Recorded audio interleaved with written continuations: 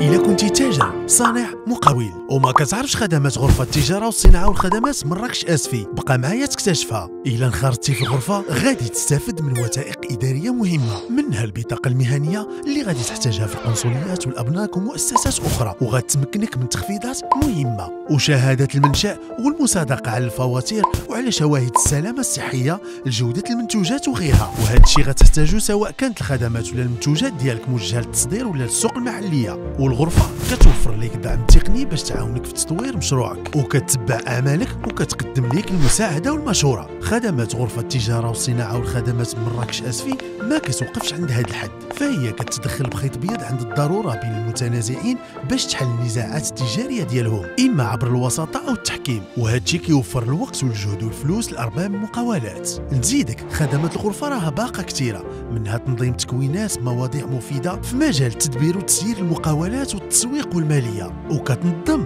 معارض وملتقيات ومنتديات وطنيه وتشارك في معارض دولية. وغادي تخليك توسع علاقتك مع رجال الأعمال جهويا وطنيا ودوليا.